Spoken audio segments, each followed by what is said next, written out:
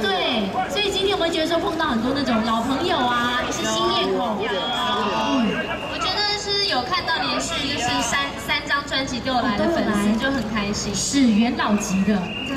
对，有一些是新歌迷吗？有一些还有从就是外地日本有有从日本来。哦，厉害厉害，所以你们要练一下那个多国的语言哦，因为以后我们要飞出台湾。很很百用，很百用。所以大哥你累吗？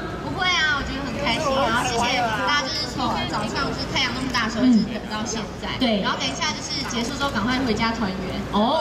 那那个雷？庭轩跟红师呢？感觉感觉怎么样？今天应该就是特别中秋节，在中秋节前一天也是跟歌迷另类的团圆，就是真的很谢谢你们来这样。嗯，我觉得就是很真的很谢谢大家，然后我觉得很谢谢就是今天天气这么的好，然后都没有下雨，因为其实一度我们很害怕下雨，那他们都会淋湿，然后就觉得真是天公作美，然后谢谢大家。所以你明天。哦，明天 Papi Lady 可以回家过中秋节。耶！